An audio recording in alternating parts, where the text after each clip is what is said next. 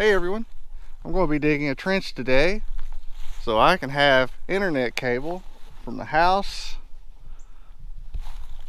to the garage. It's about 130 feet. We'll be digging straight down from this outlet. And I'm going to end at the house.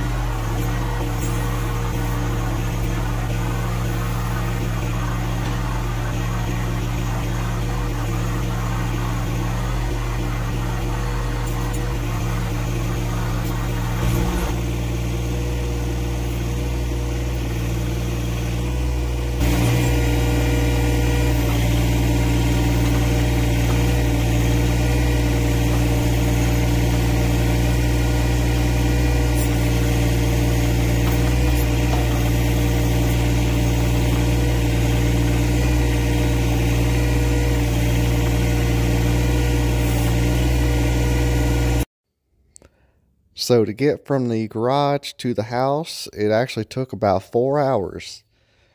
The big expanded bucket, it packed up tight and I tried to clean it out a few times, but eventually I just gave up with that. So instead of scooping out dirt, I pretty much just ripped the dirt out of the ground. It still made a decent trench, but it took longer than it should have because I couldn't really pull up as much as I wanted.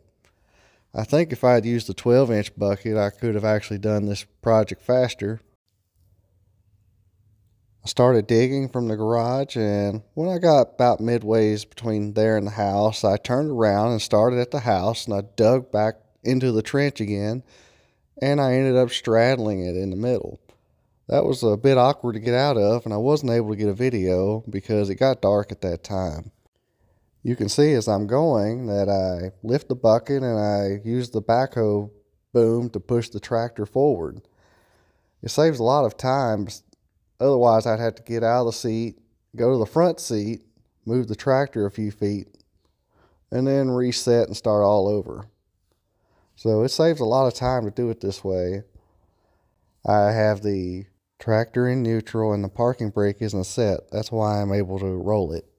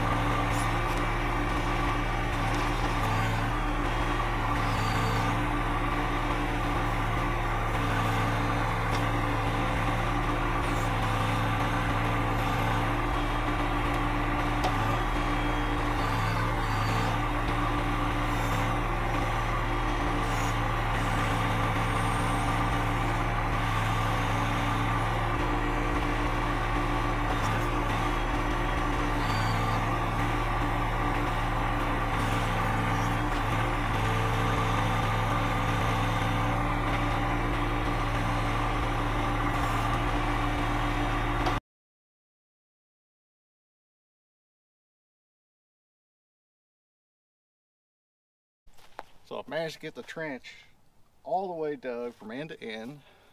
Tractor is straddling it right now. I'm about to run out of daylight. So what I'm gonna try to do is get all this pipe glued together and laid in the ground. I'll try to bury it in the middle. I'll leave the ends open for finishing up. Well, I've run out of daylight and I'm doing this by flashlight now. See, I've got the pipe in the ground. All I gotta do is cover it up.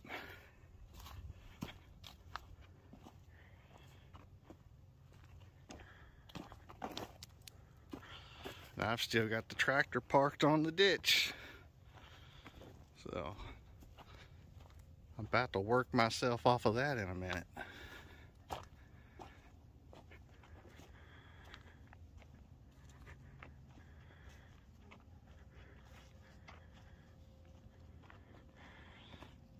all the way up.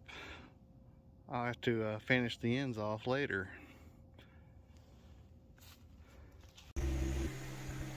I had to uh, take the backhoe and scoop some dirt right behind the rear tires of the tractor so that I could turn and drive myself off of it.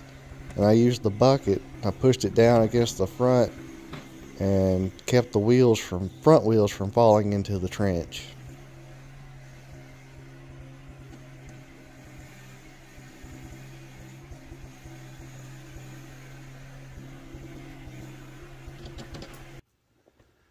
So I've kind of got rained out of my project today. So I decided I'm just going to go ahead and do the prep work on getting these LBs ready to install.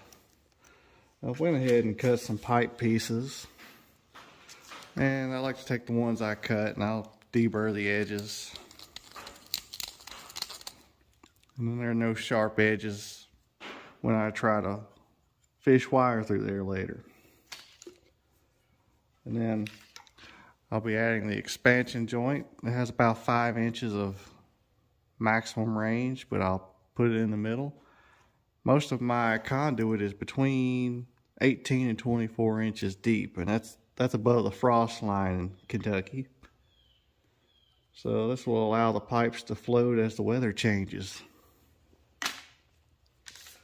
And then I've got the 7 8 inch hole saw. It's the same diameter outside diameter as the half inch pipe.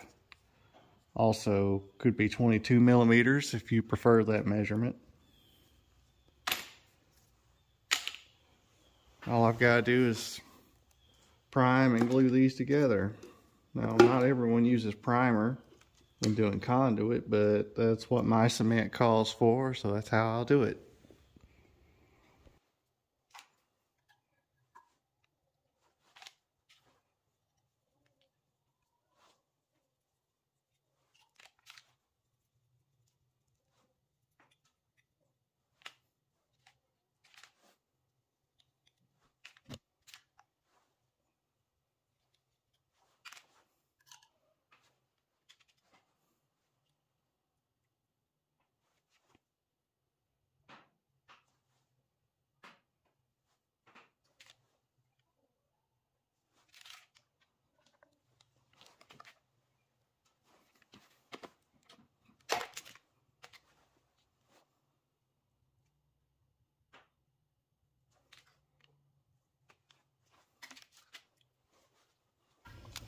Well, it's day three of this project. I've only got about 45 more minutes of daylight.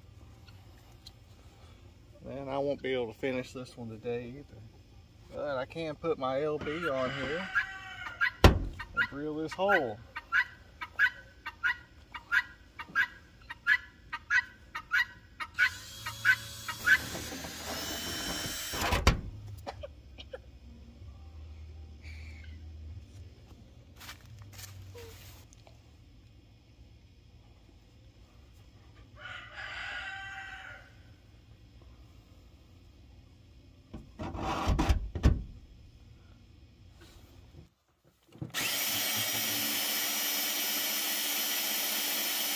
Well, it's seven days since I first started this project. I only got to work on a few minutes in the afternoon each night. But I finally got the hole drilled at the house. This isn't quite as straight as I wanted it to be. Might try to pull this over. But For now, I can get it cut.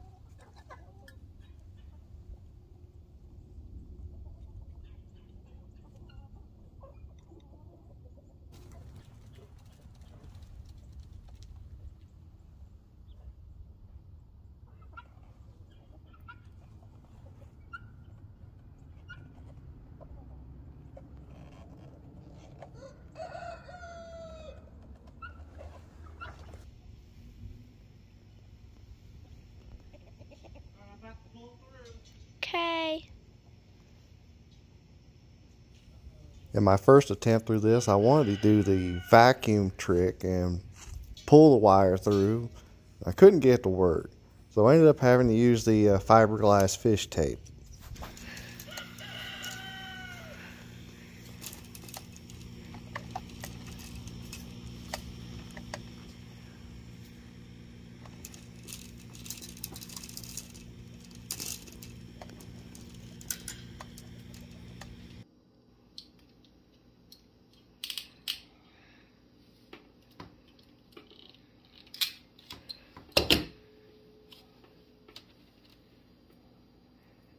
Kind of boring, probably.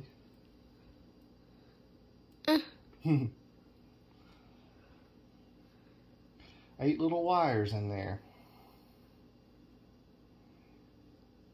Real little.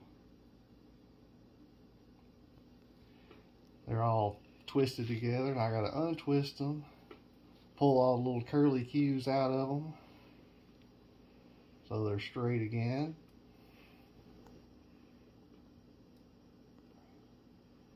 Now what? I gotta try to get them inside this little plug. Now that's how they should look.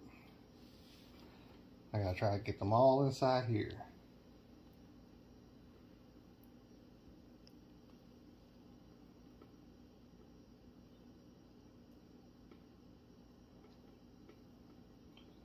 I think one missed.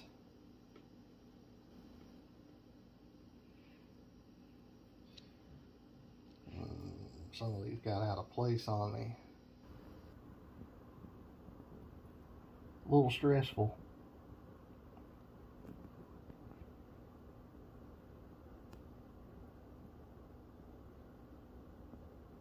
What's bad is when I'm at work and somebody's watching me while I'm trying to do this.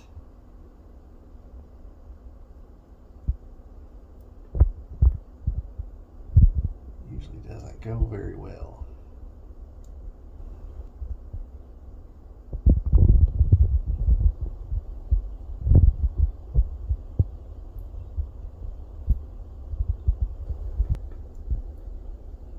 Look at that.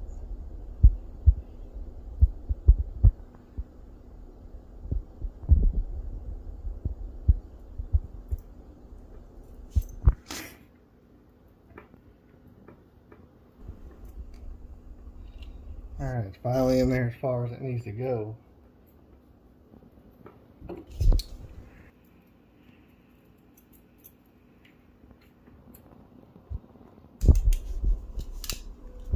Crimp that on. This is done besides trimming off the leftover wire. What do you think? Alright, I've got the deco up there and it's still on wireless at the moment. So we'll go ahead and do a speed test. We'll see what wireless speed was. Then I'll plug in the new LAN cable.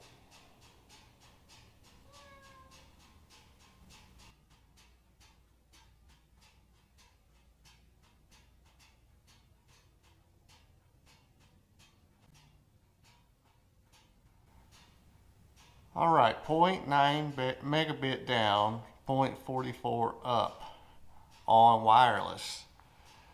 Now this is 130 feet from the house, 150 feet from the main router. Let's hook up the LAN cable.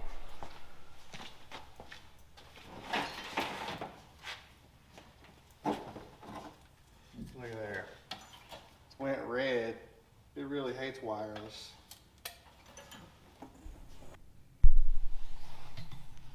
Let's try this again.